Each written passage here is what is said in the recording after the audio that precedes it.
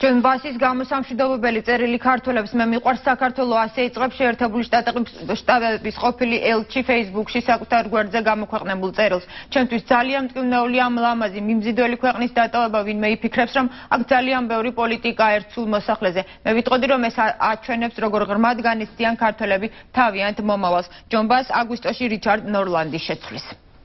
ჩემთვის ძალიან მტკივნეულია ამ ლამაზი მიმზიდველი ქვეყნის დატოვება. ვინმე იფიქრებს, რომ აქ ძალიან ბევრი პოლიტიკა ერთსულ მოსახლეზე. მე ვიტყოდი, რომ ეს აჩვენებს, როგორ ღრმად განიცდიან ქართველები თავიანთ მომავალს.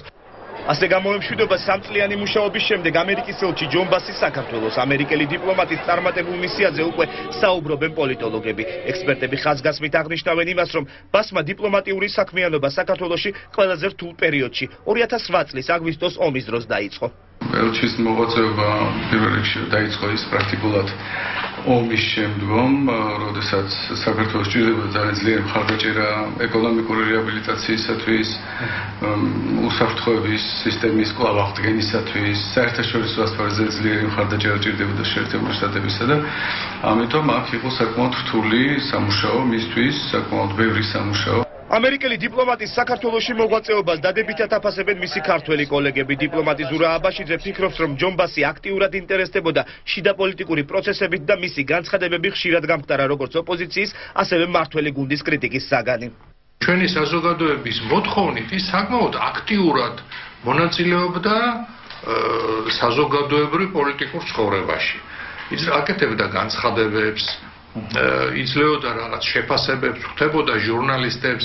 ეს აუცილებელი ატრიბუტიკა არ არის ელჩის საქმიანობისა, მაგრამ ამ შემთხვევაში, ნუ რახან ასე თქვა, ჩვენ ასეთი ურთიერთობები ამერიკის შეერთებულ შტატთან ის აკეთებდა. ამერიკის ელჩის თანამდებობაზე ბას რიჩარდ ნორლანდის შეცვლის, რომელმაც უკვე გაიარა რამდენიმე მოსმენა ამერიკის სენატში. ელჩობის კანდიდატმა საგარეო კომიტეტის ხდომაზე საქართველოსი წინასაარჩევნო მდგომარეობასთან დაკავშირებით საკმაოდ ვრცელი მოხსენებაც წაიკითხა.